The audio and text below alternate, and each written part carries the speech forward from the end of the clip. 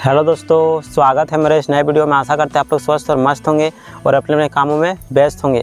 आज हम गाइज़ इस वीडियो में आप लोगों को बहुत ही बड़ा अपडेट देने वाले हैं, क्योंकि जो है दिल्ली मुंबई एक्सप्रेसवे का जो अपडेट दे रहे थे, उसी के बारे में ये बहुत ही बड़ा अपडेट है गाइज़ इसी महीने से जो है ये एक्सप्रेसवे जो है शुरू कर दिया जाएगा।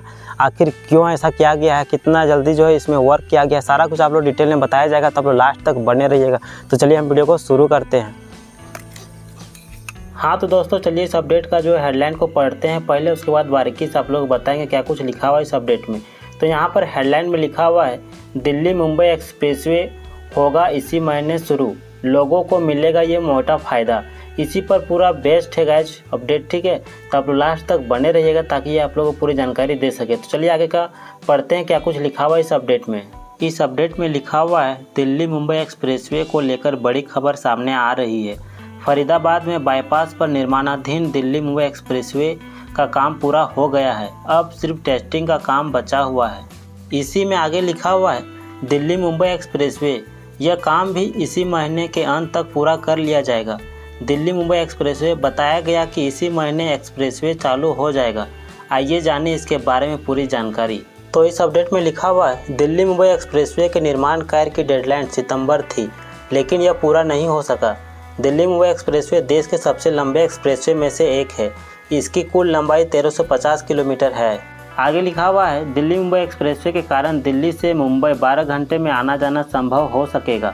12 फरवरी 2023 को प्रधानमंत्री नरेंद्र मोदी ने दिल्ली मुंबई एक्सप्रेसवे के सोहना दोसा खंड का उद्घाटन किया था। आगे लिखा हुआ है डीएनडी फ्लाईओवर से कालिंदी कुंज तक के भाग का काम मार्च 2025 तक पूरा करने का दावा है। दिल्ली मुंबई एक्सप्रेसवे दिल्ली के डीएनडी फ्लाईओवर से शुरू हो रहा है।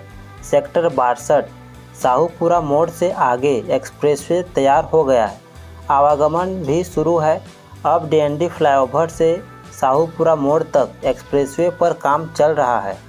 इसमें आगे लिखा हुआ है, अधिकारियों के अनुसार दिल्ली मुंबई एक्सप्रेसवे में कालिंदी कुंज से सेक्टर बासठ तक के भाग का काम पूरा हो गया है। सभी जगह अंडरपास बन गए हैं। इन सभी के अप्रोच सड़क बन चुकी है। एतमादपुर व बडोली के सामने एलिवेटेड सड़क बन गई है। सर्विस रोड का काम भी पूरा है। दाएँ बाएँ लोहे की रेलिंग लगाई जा चुकी है। इसमें आगे लिखा हुआ है, दिल्ली मुंबई एक्सप्रेसवे में बाईपास पर sector 30 Etmadpur sector 28 Baselwa colony Kheri पुल बीपीटीपी पुल के पास सेक्टर सेक्टर दो आईएमटी के पास प्रवेश निकास पवाइट बन गए हैं। इन सभी जगह अंडरपास बन गए हैं। कंस्ट्रक्शन कंपनी ने अंडरपास के आसपास ही प्रवेश व निकास पॉइंट बनाए हैं। इसमें आगे लिखा हुआ है, एक्सप्रेसवे के दोनों ओर छः लेन सर्विस रोड। इस पर लिखा हुआ है, दिल्ली मुंबई एक्सप्रेसवे को कुल बारह लेन का बनाया गया है। मेन कैरिज वे छः लेन का है, जबकि दाएँ बाएँ सर्विस रोड भी तीन तीन लेन की बनाई है। इसी सर्विस लेन के माध्यम से वाहन चालक मेन कैरिज वे का प्रयोग कर सकेंगे। यानी इसमें जो बताया गया है गैस, सिक्स लाइन का जो है मेन लेन होगा, जिसमें जो है हाई स्पीड से वाहन चलेगी और दोनों साइड जो है लेफ़्ट, राइट साइड जो है तीन तीन लाइन का सर्विस रोड बनाया गया है, जिसमें जो है लोकल वाले लोग उसमें चलेंगे। ठीक है, कम दूरी तय करने वाले लोग उसमें चलेंगे, वाहन चले जाएगी उसमें। ठीक है?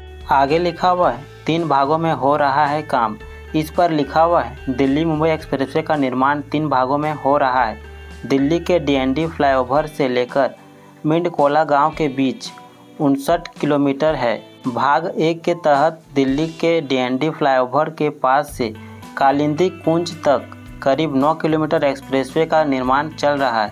इसमें सात किलोमीटर एलिवेटेड है। इसी में आगे लिखा हुआ है इसके बाद आगरा नहर के साथ साथ सेक्टर सैंतीस सवदाहगिरी के पास आकर बाईपास से जुड़ गया है। भाग दो मरेलना पुल, तक 24 किलोमीटर है। तीसरा भाग, मरेला पुल से सोहना तक 26 किलोमीटर है।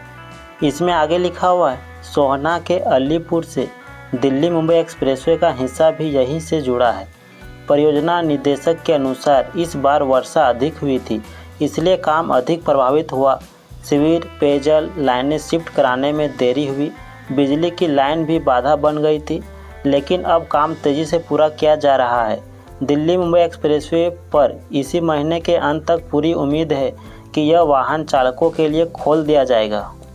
हाँ तो गाइज़ इस अपडेट में बस इतना ही था। आई होप आप लोगों को ये वीडियो पसंद आएगा और पसंद आया हो तो अपने दोस्तों के साथ ज़रूर शेयर करें ताकि उनको भी इसके बारे में पूरी जानकारी मिल सके। तो चलिए इस वीडियो में बस इतना ही। तब तक के लिए जय हिंद, जय भारत, वंदे मातरम, जोहार झारखंड, जय झारखंड।